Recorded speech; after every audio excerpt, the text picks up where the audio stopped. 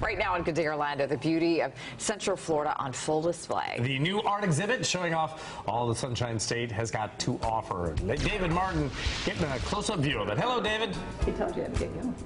Hey, good morning, Bob. Good morning, Amy. We are knee deep in the Enterprise Museum of Enterprise, Volusia County. I've got my friend Georgia Turner here from West Volusia Tourism. Good morning, Georgia. Good morning. All right, so big deal right now going on here at the museum. You have Living Waters, the Aquatic Preserves of Florida photography exhibition by Clyde Butcher inside the museum. How did you get that? We do.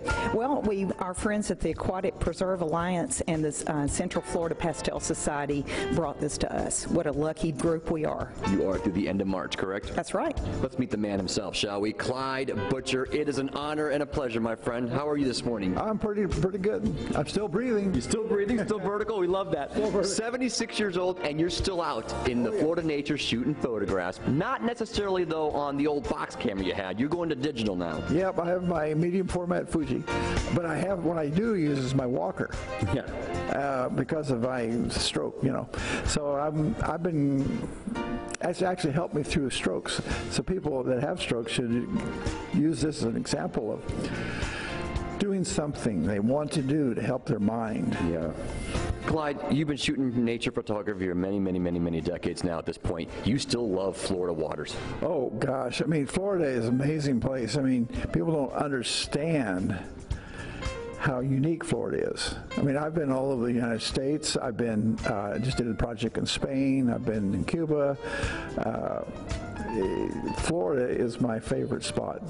Let's pick a couple of your favorite photographs here behind us here. We have one that was taken in the year 2003, Cape Romano. What's so unique about this photograph? Well, I wanted to show people the real feeling of the mangroves.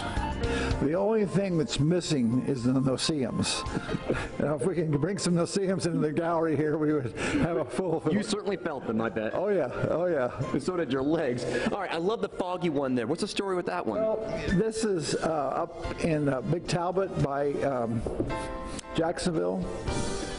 It was strange. This is summertime, 93 degrees, and it's fog. My my glasses were fogging, my lens was fogging. It was really tough to shoot that sucker. Well, it came out beautifully. Finally, the sand dune that is no more. Where was that taken? That's Cape San Blas, mm-hmm. which uh, Matthew wiped it out. So you were able to shoot it before it disappeared. Yeah, it's a stunning it, photograph. It's flat now. Isn't that amazing? Where can we meet you?